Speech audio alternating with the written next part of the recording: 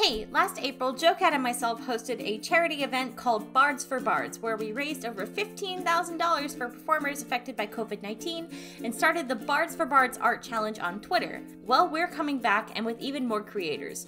Joe is, of course, joining us again, but we are also being joined by ABD Illustrates and the Shrieking Wizards Co., Aiden, Artistic Rubbish, Cami Cat, Cool Boy Shane, Crit Crab, Davvy Chappy, Dingo Doodles, and Felix, Fel the Lab, Flying Fox Girl, Jacob from XP to Level 3, Jess Jack Draws, Roll for Damage, Rune Smith, Tori Draws Stuff, Vitamin Ditter, and probably more by the time this is posted. The event is also being sponsored by Hitpoint Press. All throughout the month of April, we will be running a host of one-shots, game nights, art streams, and more, all leading up to a 24-hour live stream on May 1st, where we will be giving away Humblewood books, Steam game keys, dice, and so much more. And of course, the Bards for Bards Art Challenge is once again coming back, just with a few changes. The challenge is to draw a bard, any bard, in any way, and post it with the hashtag Bards for Bards. This year, however, to enter your bard into the Bard Showcase, you must submit via email at bardsforbardsofficial at gmail.com and send us your bard along with a submission form written in the description of this video. Last year, things got way out of hand and we missed a lot of amazing bards in the showcase, so this is how we're going to try and avoid that this year.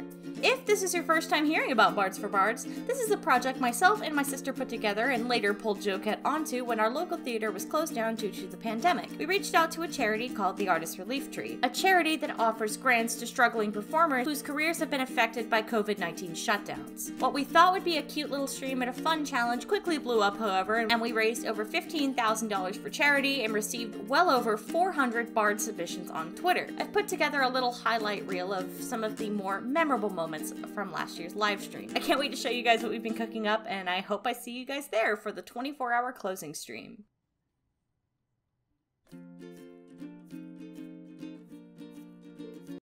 Oh yeah, jo Joey Joe, thank you. Oh my God, Joey Joe, thank you for the bards. Five hundred dollar donation. Holy shit! When oh here here I'm not afraid to tell the story. When me and Connor were children, I snuck her out of her crib, snuck myself out of my room, and uh, put my sister on the floorboard of my mom's car and tried to drive. Oh no. Furry does not rhyme with fully. The crusty um, I, I have a new upload, double upload because you guys are special. Hello. Can you hear us? Hello? Uh-oh. Hello? Nope. Wait. Can you guys can you guys hear?